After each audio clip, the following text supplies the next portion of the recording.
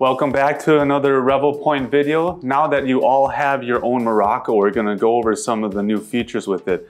But specifically in this video, the do's and the don'ts of using MIRACO. As you know, the biggest new feature with MIRACO is it has a near and far mode within the system, within the scanner itself. So we wanna talk about what items we can scan with far mode and what items to scan with near mode.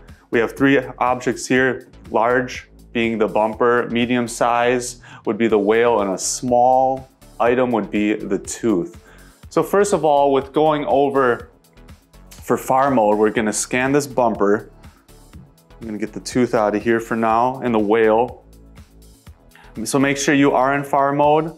Just do a quick glance over at your scan settings, just making sure it's not on marker mode, and start scanning. Proper distance, I'm just gonna do a quick run through, seeing that there's no issues at all using far mode here for this large object, because that is the right mode to use. Pause it, and actually it's on color right now, and we can see the point clouds. Pretty nice. Looks pretty good. Now, switching this, you can delete that, switching that into near mode, what's gonna happen and it's not to say that we couldn't scan something as large as a bumper with near mode. It's just gonna be a waste of time. It's gonna take a long time to get through it. And you're most likely gonna lose tracking a lot. Could be done, but it's just gonna be a pain.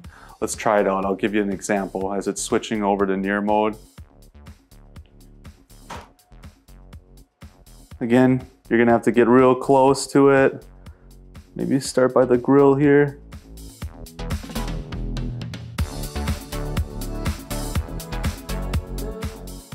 Oh, so yeah, it's starting to lose a little bit.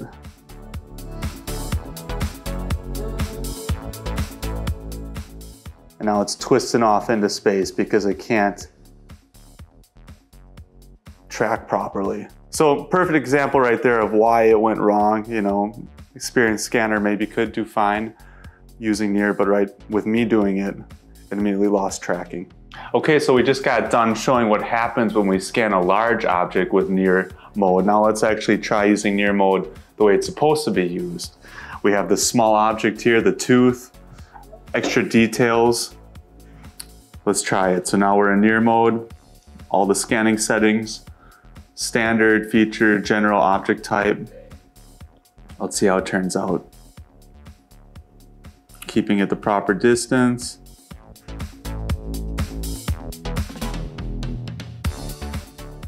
All right, just pause with that. Now we can see the point clouds that it picked up.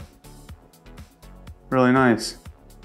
That is with near mode, so we didn't do a full rotation around because the back still hasn't picked up the point clouds there. Now let's switch it over to far mode and see what happens. Seeing the difference why you cannot use far mode for something so small. Here we go.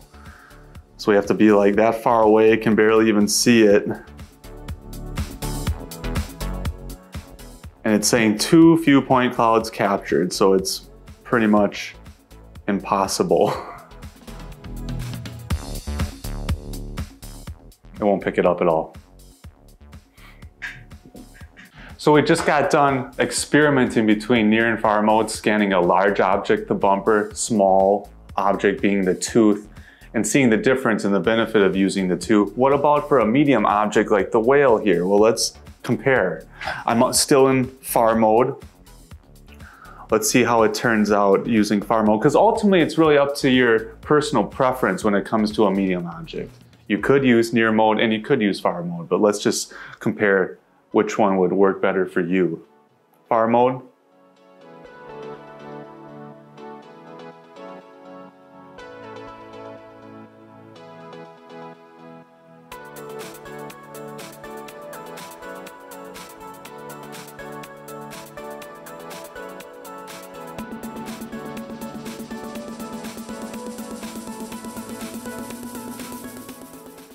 Okay, so we just got done scanning the medium-sized object with far mode. Really went easy. But now what about using near mode? Is there any downside to it? I mentioned earlier it's personal preference, but with an object like this, with the fins sticking out, being so close, you're gonna have to adjust to the curvature of the whale. Let's see how difficult that is. Starting up at the head. Again, this is near mode. On the distance bar, I'm definitely gonna be floating more so around far and too far.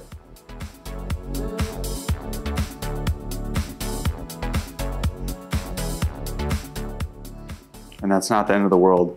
You can do that. We just have to get past these fins. It's going to be the tricky part.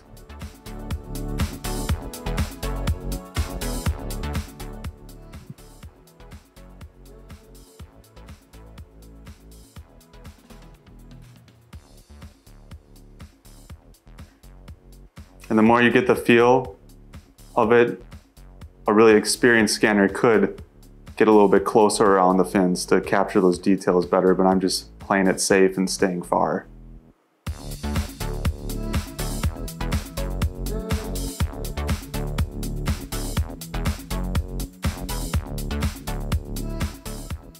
All right, we're pretty much past the fins. Let's move this down.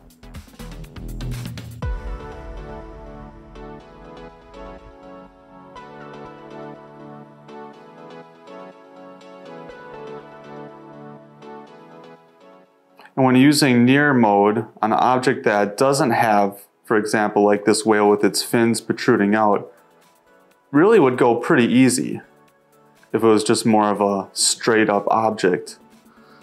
And then it would really do a nice job picking up the extra details, but just because the whale has the fins sticking out makes it a little more difficult. But it's gonna be real nice around the waves down here. We'll probably catch catch the details a lot better than far mode.